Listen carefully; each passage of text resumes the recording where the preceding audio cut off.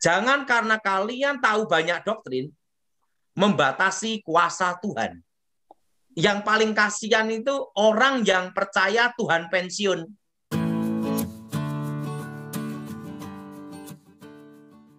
Kekuatan Elohim bekerja, bebaskan dari yang jahat, bebas dari kutuk. Darah Yesus hancurkan kutuk, darah Yesus hancurkan mantra.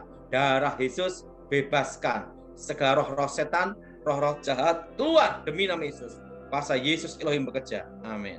Uh. Saya tadi siang itu baru ngobrol sama uh, temen ya. Dia hmm. tuh bilang, hati-hati kalau kamu ngusir setan di satu tempat, misalnya di rumahmu ada jemaat datang ngusir setan. Nanti kalau setannya diusir bisa-bisa katut di rumah, nah gitu. Benar nggak Pak itu? Enggak. Makanya doa perlu dengan benteng darah Yesus itu. Oke. Okay. Makanya di rumah-rumah saudara itu doa minyak urapan, kasih minyak urapan di setiap pintu. Oh, Oke. Okay. Itu sebagai tanda milik Tuhan supaya yeah. tidak ada serangan. Iya, yeah. iya. Yeah. Tapi kalau masalah minyak urapan diributkan, saya mau tanya, yeah. you tidak percaya, tidak usah ribut. Yes. Nah, jadi kenapa? Berapa sih beli minyak? Yeah. Yeah, yeah. Kan lima puluh ribu, tidak nyampe, betul nggak Michael? Iya, betul betul pak. Jadi kalau itu diributkan ya, berarti kamu tidak pernah doa. Iya iya iya. Tidak percaya kuasa Tuhan kan gitu. Yes yes. Kan yang jelas yes. dalam kitab Yakobus dikatakan, bila saudaramu yang sakit, hendaklah penatua mengoleskan minyak dalam nama Tuhan. Iya, iya, itu ada dalam firman.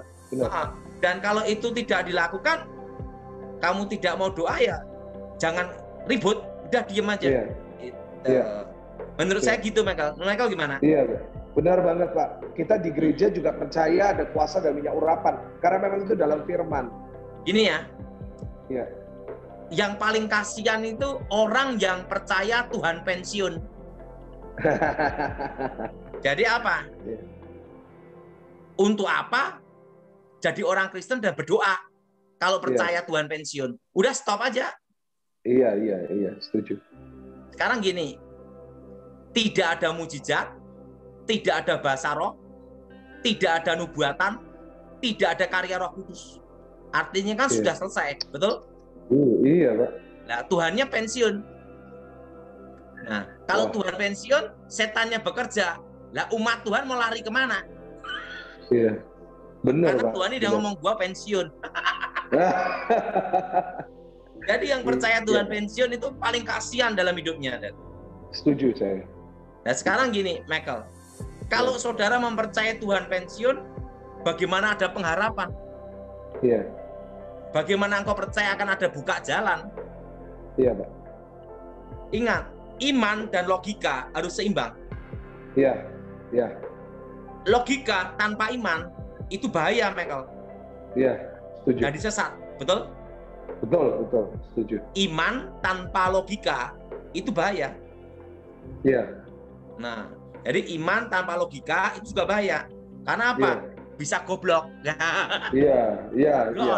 Jadi iman dan logika ini harus seimbang. Iya, iya. Dan menurut Michael gimana? Amen.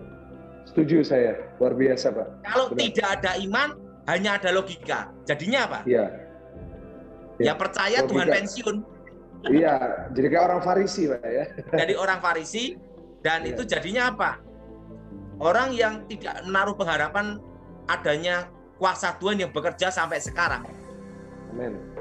Ya. Jadi yang paling kasihan itu kalau yang mempercayai Tuhan pensiun.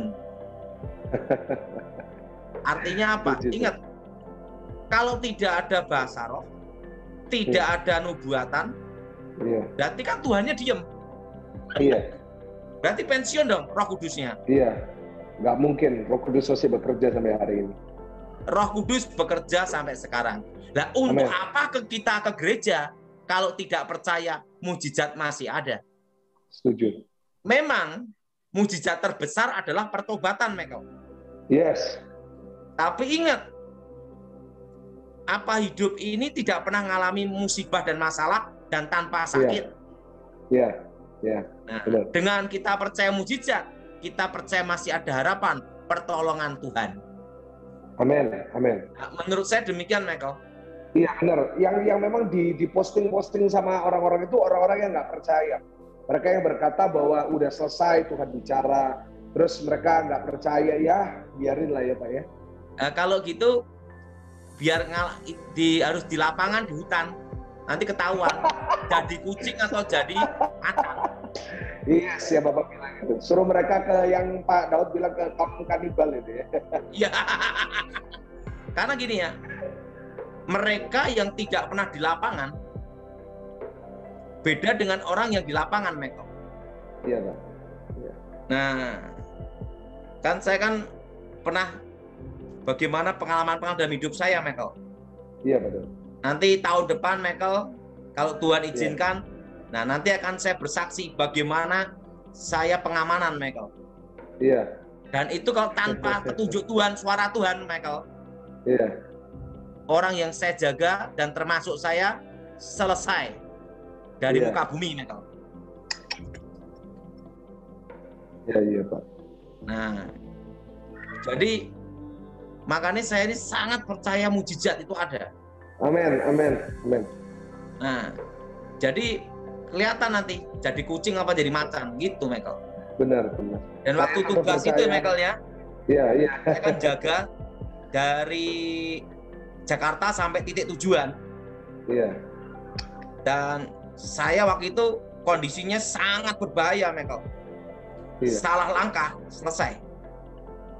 Iya. Dan apa yang terjadi? Di situ saya bahasa roh, minta petunjuk Tuhan, Michael. Iya. Dan Tuhan bisa selamatkan itu. Nah, mujizat masih ada. Amin, amin. Dan sampai yang orang yang bukan Kristen pun gini, Michael. luar biasa. Dan itu orang penting, Michael. Iya, kita doakan Apakah bisa percaya. bisa nyelamatin kalau di lokasi lapangan seperti itu? Saya katakan Iya. selesai. Iya, Nah, jadi ini pengalaman hidup, Michael. Iya Pak Daud. Nanti Luar tahun biasa. depan Tuhan izinkan saya cerita bagaimana tugas itu. Michael. Siap Pak Daud. Jadi bukan hanya doktrin-doktrin tapi hanya omong kosong gitu loh. Iya, iya. Setuju, Jadi- setuju saya. Doktrin pun harus dibuktikan bahwa engkau bertobat lahir baru. Betul nggak, Michael? Amin. Betul, betul. Jangan hanya Wow. hanya umbar-umbar doktrin. Umbar-umbar doktrin anak kecil juga bisa baca-baca doang, betul nggak Michael? Iya, betul, betul. Tetapi kalau di lapangan gimana? Kamu jadi macan atau jadi kucing kan gitu? Iya, iya. Saya setuju Dan sama teologinya. Saya setuju sama teologinya Pak Daud Tony. Memang do- eh, doktrin boleh ada, tapi kita nggak boleh biarin doktrin itu sampai membuat kita nggak percaya sama mujizat Tuhan. Itu Iya. salah. Doktrin Iya. dan iman itu harus Iya. seimbang. Seimbang. Setuju sekali saya. Benar, luar Ingat. biasa. Iman tanpa logika namanya block on, Loh, on. block. Ya, iya, betul? iya, iya.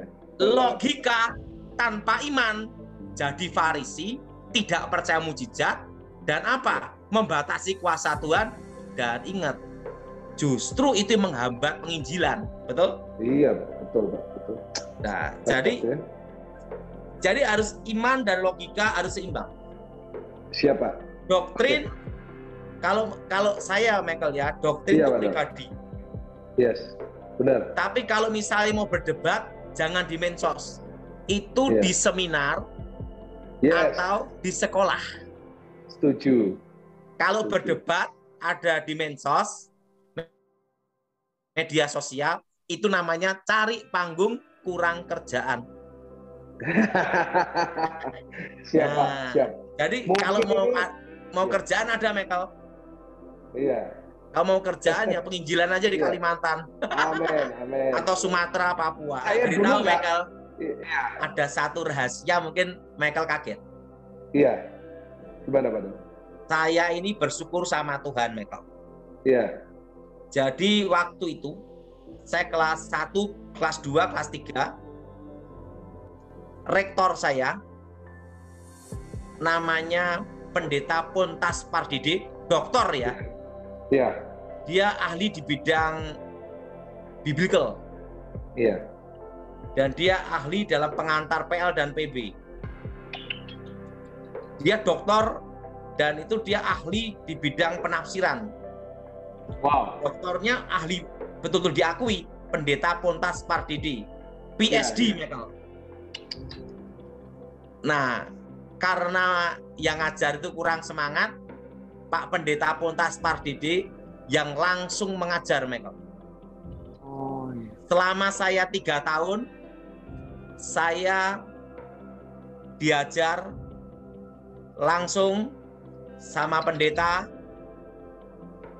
Pontas Pardede PSD Michael. Biblical. Wah, Dia pesen sama saya. Doktrin kalian boleh belajar dan banyak tahu.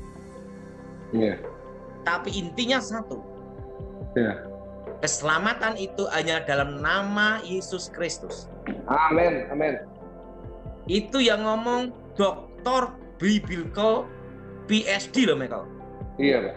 Luar biasa. Dan yang kedua, jangan karena kalian tahu banyak doktrin membatasi kuasa Tuhan. Amin, amin, amin. Dan yang ketiga, iman dan logika harus seimbang. Siapa? Luar biasa. Itu yang ajarkan dia selama tiga tahun, Michael. Luar biasa, Pak. Dan perjuangannya dia itu hebat, Michael. Puji Tuhan, Pak itu Michael dalam kondisi sakit parah Michael. Iya. Yeah. Dia tetap ngajar di tempat kuliah. Iya. Yeah. Sampai dia meninggal Michael. Luar biasa, Pak. Nah, dan puji Tuhan saya kalau ditanya muridnya siapa? Pendeta Poltas Pardede, PSD. Amin, amin. Tapi yang kasihan pendeta Ayub di ngomong ini kalau gagal ngomong aja muridnya Ayub Lande aduh luar biasa